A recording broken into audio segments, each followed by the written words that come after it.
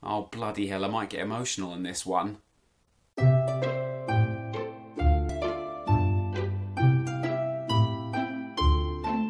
Yeah, I'm gonna get emotional. Hello, lovely people of YouTube, and welcome back to Mark on Life and Ghibli Time. Thank you to everybody that watched last week's episode, which was Laputa Castle in the Sky. If you haven't watched it, I will leave a link in the description and at the end. This is one I've been waiting to do since the beginning. I made the decision to go chronologically, but this is one of the ones that I wanted to introduce you to. Anybody out there who has never watched Studio Ghibli, this is one of the ones that I would put in front of you first. If I was putting my favourites in front of you, this would be one of them. It's one of the ones that, if you've never seen one, start today. So, which one am I talking about? I'm pretty sure you can guess. My Neighbor Totoro. So, My Neighbor Totoro came out in 1988, and it was actually part of a, a two film double theatrical release. It came out at exactly the same time as uh, Grave of the Fireflies, which we'll be doing next week, because they thought it would be too much of a financial risk to release it on its own. So it came out as a sort of double feature, and it's been described as one of the greatest sort of movie double features of all time. Directed again by Miyazaki, and the music again by uh, Hisaishi. Again, um, an amazing pairing. The direction and the music are absolutely fantastic in this one. So for this one, I want to jump straight into the plot because there are a lot of elements around it, but we'll, we'll work them out as we go. So, what happens in My Neighbor Totoro? Well, this one's a bit funny. It's. If I was describing the plot, not that much happens. Compared to the last ones, in Nausicaa and Laputa, this is not a huge film. It's not an epic sort of journey. Miyazaki had done two fantasy type films in a row, and this is very, very different. So if you're expecting action and chases and this and that, this is not the film for you.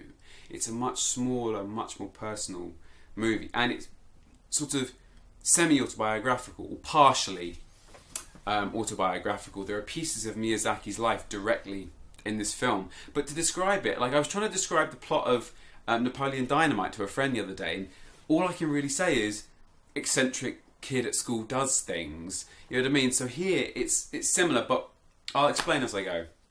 It's set in 1958 in technically an unknown part of um, Japan. It doesn't name it, but anybody who's sort of looked behind the scenes knows exactly where it is. Miyazaki um, lived and was uh, brought up around Sayama in the Kanto Plains, Sayama Hills, and if you look at that area, it is exactly the same. There are direct lifts from the area, whether it be the um, the shrines, the uh, sort of the hills and the fields and all that kind of stuff. It's very similar. It's beautiful, beautiful rural part of the world. A father and his two daughters, Satsuki, aged 10, and Mei, aged 4, are moving to this area of Japan to be closer to their mum, who is in hospital at the moment. Uh, it was originally going to be one girl rather than two. Uh, Miyazaki eventually decided that it would be easier and clearer to tell the story with two girls. Um, and even there, we have an autobiographical detail. Miyazaki's uh, own mother had spinal tuberculosis for nine years and was in the hospital uh, for that whole time. So, again, a lot of details in this are directly lifted from his own life. So they move to this new house, and it's a little bit sort of dirty and rotting, but they love it. And this is one of the things I love about Ghibli films is the settings. They're so beautiful.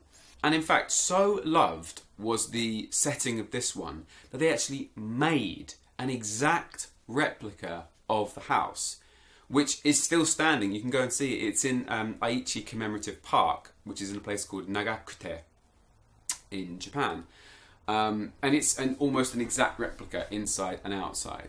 So the girls move here and they love it. Although it's a bit haunted and a bit weird, and they keep seeing these what they call soot sprites, these little black sprites around there, which are actually seen in Spirited Away as well. But it's it's a nice area and they're getting used to it, and they're just waiting for their mum to come home. One day, while Satsuki, the older girl, is at school, Mei the younger one, sees a little forest sprite and follows it and chases it and finds her way into the forest where she meets for the first time Totoro. This giant uh, grey furry forest uh, forest dweller or forest sprite. She then goes back, and it's not that they don't believe her because she can't find her way back and show them, because they, they kind of do believe her. They're not mean to her or anything like that, but obviously they didn't see it. But it's legend, so they sort of half believe. The name Totoro, um, actually, well, there's two two thoughts to where it comes from. The first, most obvious one is the script itself. It's a mispronunciation of the word troll, which in Japanese is turoru. So instead of it would be turoru. So instead of turoru, she said totoru, um, which is not in the English dub of the script, but it is in the Japanese one. So that that one makes uh, a lot of sense, obviously. But it's also thought to potentially be uh, a mispronunciation of a town called Tokorozawa, which is a town near where Miyazaki grew up. And apparently, the children around there would mispronounce the name all the time. So it's thought that it could be um, one of the two. I think it's probably just uh, a mispronunciation of troll, but who knows? And from there, the plot is very simple. The girls are going back and forth from school, you know, waiting for the dad to uh, come home from work. The the old lady next door and her her grandson are sort of always present in their lives. Um, Totoro is coming in and out of the story at some point we have a major plot turn where the younger one, Mei, becomes lost trying to reach um, her mum and take her some food to the hospital. And from there, it's a sort of um, looking for her and and, and um, everything working out. I don't want to. I don't want to spoil it. You can't really have spoilers because it's not really how this film works. What I would like to say is just how much I love this one. Um, again, like I said, I just watched it again now, having watched it many, many times before, and it it's as good every single time. Every element of this film is fantastic. The settings are so charming, so beautiful, so detailed. The voice acting, which in this one, the English dub, is um, uh, Dakota Fanning and Elle Fanning, so sisters in real life, sisters in the film. The script it's very simple. It's much less wordy than some other ones. There's no exposition in the same way. It's just a very, very simple plot. And there's real moments of humour and real moments of emotion. It's it's weird. The word that comes to, to mind is nice. And I know nice is a terrible descriptor for anything. It's like how you would describe a jumper. It's nice. You know, how was that risotto? It was nice. You know what I mean? But in this, I don't mean it in a derogatory sense. It's just nice. Everything's nice. It's a lot of people have described a common theme of Studio Ghibli films is that it restores your faith in humanity. And I know that sounds like a bit of a grandiose thing to say about it, but I can sort of see why they say it. There's no villain in this one. There's no sort of MacGuffin. They're not looking for a crystal or a, or a sword or something like that. You know, it's just it's just a nice, simple, beautiful story.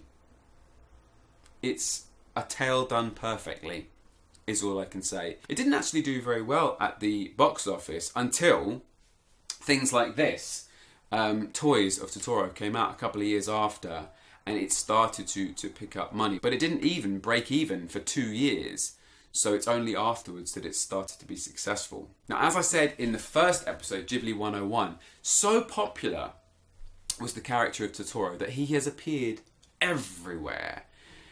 He has appeared in other Studio Ghibli films like Pompoko, Kiki's Delivery Service, and Whisper of the Heart. In um, other films uh, from elsewhere, like Toy Story 3, as I said uh, previously, but also some slightly more odd tributes um, in 1994, um, an asteroid was discovered and named after Totoro. And then in 2013, a new species of worm, I forget the name and I didn't write it down, was discovered in Vietnam. And that was also named after Totoro.